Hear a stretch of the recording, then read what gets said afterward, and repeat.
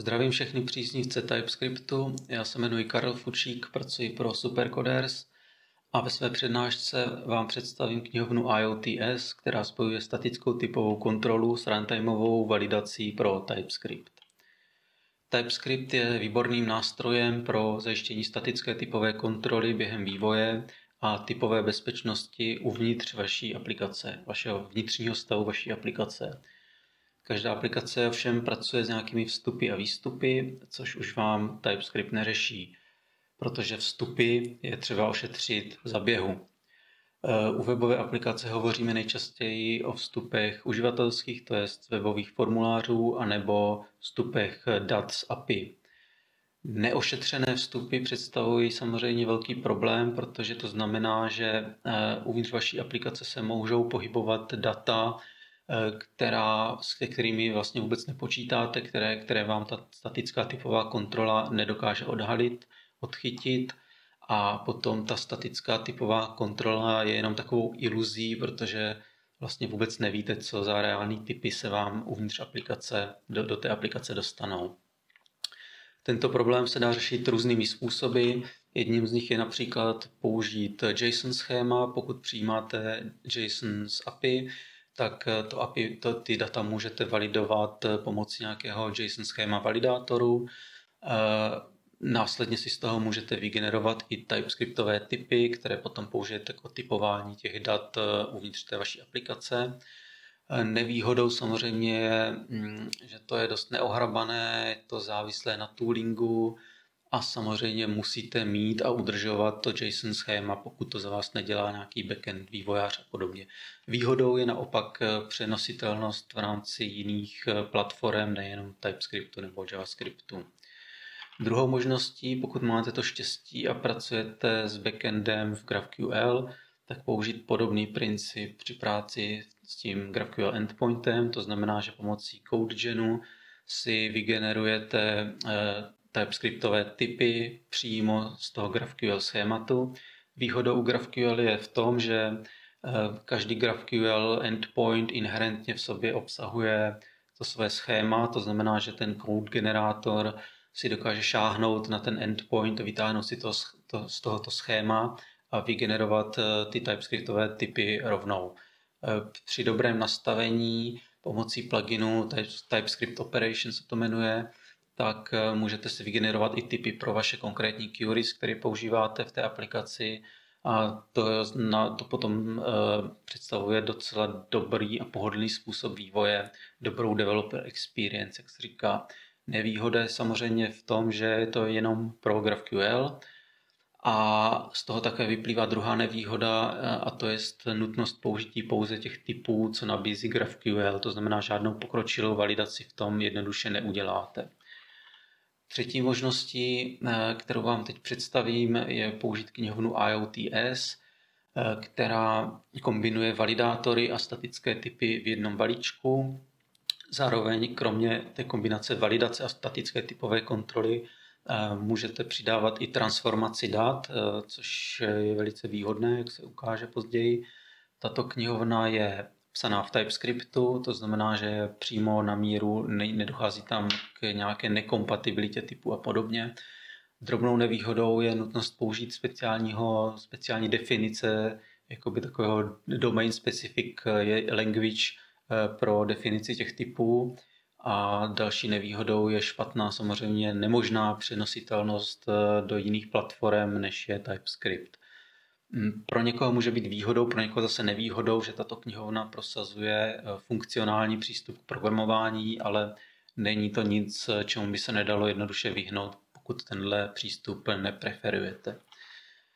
Základním základem té knihovny jsou tzv. kodeky, což je zkrátka skoder, dekoder, Kodek představuje eh, jakousi runtimeovou reprezentaci toho statického typu v TypeScriptu, přičemž knihovna eh, poskytuje eh, širokou škálu základních primitivních kodeků, které jsou jedna ku jedné k těm primitivním datovým typům, co známe z TypeScriptu.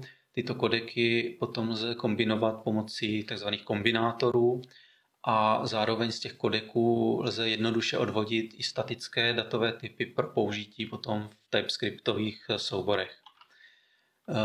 Eh, tady v tom schématu jsem se pokusil naznačit, jak vypadá ten kodek. Ten kodek vlastně interně pracuje s třemi datovými typy. Jeden je datový typ vstupu, druhý je datový typ toho, té, té, ten interní datový typ, který používáte v rámci vaší aplikace. A třetí datový typ je datový typ, který posíláte na výstup. Ten kodek potom obsahuje dvě základní mm, metody. Jedna je decode a druhá je encode. To decode vlastně dekoduje ten datový typ ze vstupu, tady nazývám ho tady I, a převádí ho na datový typ A, což je ten váš základní datový typ. A metoda encode eh, zase dělá opak, převádí ten datový typ A na datový typ O, který posíláte třeba na výstup do nějakého API a podobně. Často jsou ty datové typy O a I podobné nebo stejné a i ten datový typ A může být vlastně stejný, takže eh, není to nějak komplikované, ať se to může na první pohled tak jevit. Eh, v praxi to funguje následovně.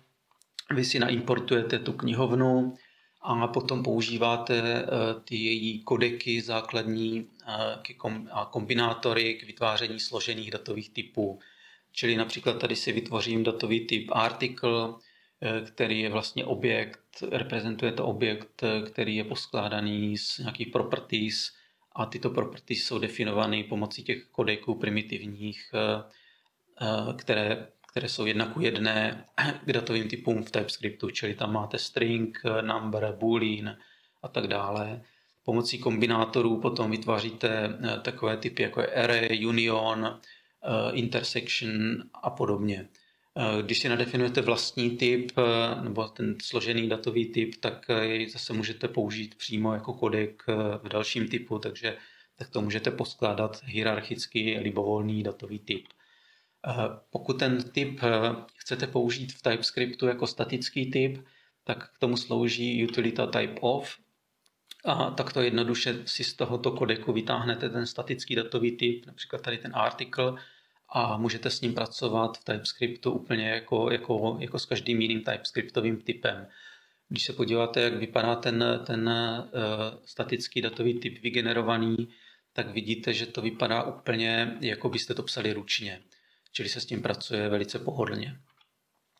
Eh, tento kodek potom typicky použijete pro dekodování dat z nějakého vstupu, z nějakého API. Například vám dojde ten článek jako objekt vy to proženete tím decode a na výstupu eh, výsledkem je nějaký result a ten je typu takzvaného either, což je funkcionální datový typ, který repre, může reprezentovat dvě různé, dva různé objekty, dva různé stavy.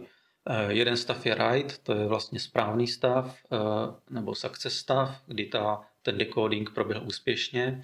A druhý možný stav je left a to je stav pro chybu. Takže když, se, když ten decode nezvalidoval ten typ správně, je tam nějaká chyba, tak výsledkem je left. S tímto resultem můžete pracovat buď funkcionálně nebo nefunkcionálně. Tím nejjednodušším způsobem je použít starý dobrý if, pomocí helperu is right ověříte, jestli ten result je ve stavu right, to znamená, že ta validace a decoding proběhl v pořádku a potom v tom result right vlastně najdete ten datový typ, o kterém si můžete být jistý, jistí, že odpovídá tomu vašemu datovému typu A, jak jsem ukazoval na tom diagramu, můžete s tím dále pracovat v rámci aplikace. Čili ten datový typ bude vlastně ten typ article, který jsem si vytáhl jako statický datový typ z toho kodeku na předchozím slajdu. Pokud eh, výsledkem toho dekódování je chyba, tak dostanete either typu left a ten můžete zpracovávat pomocí tzv. reporterů, protože ten objekt typu left obsahuje nějaký zápis chybových zpráv a ten path reporter, což je základní reporter v té knihovně IoTS, tak vám vypíše chybovou hlášku, na kterém místě v tom JSONu se vyskytla chyba. Vy si můžete nadefinovat jakékoliv další reportery, kombinovat je a tak dále. To už tady nebudu dál rozebírat, není to předmětem této, této prezentace. Eh, pokud preferujete funkcionální přístup, tak tady se vám otevírá eh, široká, široké pole možností, protože stejný autor, co vytvořil knihovnu IoTS, vytvořil i sesterskou knihovnu, která se jmenuje FPTS, eh, která vlastně poskytuje spoustu funkcí pro funkcionální programování, čili můžete využít funkci pipe, té předat ten decode, ona vezme ten result, předá, předá to do funkce fold, která rozhodne, jestli ten result je typu left nebo right a potom zavolá nějaké callbacky dále a v těch už si to zpracujete, jak budete chtít, to znamená, že ten left třeba dispečnete, zalogujete si nějaké chyby do nějakého logu, ten right můžete dispečnout do storeu a použít ten typ, ten, ty data dál, ta data dál. Eh, samozřejmě si můžete nadefinovat i vlastní typy, vlastní kodeky. Tady vidíte příklad, kdy jsem si nadefinoval kodek eh, pro parsování lichých čísel, to znamená, že on mě zajistí, že se mi do aplikace nedostane žádné číslo, které by bylo sudé. Eh, ta definice vlastního typu spočívá v tom, že jednak mu dáte nějaký název, druhak mu definujete typeguard, který se potom používá jako, pro, pro, jako typeguard v, normálně v TypeScriptu. Eh, validátor, to je ten decoder vlastně, čili to je funkce, která vám převede ten vstup, ten, ten vstupní datový typ eh, na, na výstup, zároveň ověří, jestli to, jestli to lze, jestli to odpovídá. A encoder, který vám převede ten váš datový typ na, na nějaký výstupní datový typ. Eh, tady jsem použil třeba helper identity, který vlastně předá v tom encoderu ten datový typ v nezměněné podobě což jako není úplně košer, ale uh, jenom jsem chtěl ukázat, že, že, že uh, knihovna nabízí takovéto zkratky. Pokud byste ten uh, kodek chtěli použít například pro vstup z webového formuláře, tak tam je trošku problém, protože z webového formuláře dostanete data ve formátu string, typu, typu string, to je řetězec, Čili nejdřív potřebujete převést ten řetězec na číslo a potom to číslo převést na to, na to liché číslo, respektive ověřit, že je liché. Tady můžete využít vlastně skládání těch datových typů, co znamená, že si nadefinujete nejdřív kodek, který převede ten string na number a potom je složíte dohromady s tím od number do složeného kodeku, který vlastně parsuje string na, na, ten, na to liché číslo. Výhodou tady toho rozdělení, kromě eh, lepší znovu použitelnosti, je v tom, že, že potom dostanete lépe granulované ty chybové, chybové zprávy. Čili ta chybová zpráva vám řekne, v kterém kodeku vlastně nastala chyba. Kromě té knihovny IoTS eh, existuje ještě druhá knihovna IoTS Types, která poskytuje řadu hotových předpřipravených kodeků a utilit pro práci s nimi, které můžete využít ve svých projektech, například pro zmíněné parsování čísla ze stringu nebo eh, velmi užitečný kodek pro parsování data z isostringu do, do, přímo do objektu date nebo pro parsování a validaci UUID, eh, eh, IDček, pro práci přímo s JSONem a tak dále a tak dále. Tahle ta knihovna je dobrá i jako inspirace pro výchozí, výchozí bod pro tvorbu vlastních typů. Eh, když se podíváme například jedno, jenom tak stručně, tak eh, tady vidíte, že jsem v tom artiklu eh, místo stringu pro property published add použil kodek date from isostring a ten kodek mě vlastně z toho vstupu převede datum ve formátu ISO na date objekt přímo, takže v aplikaci můžu pracovat s datem a na vstupu a výstupu budu mít ten ISO string. Je to velice, velice příjemné a transparent, hlavně to transparentní, protože se nemusíte starat o nějaký převody a tak dále a ten kodek vám eh, zvaliduje, jestli ten formát ISO je, je validní.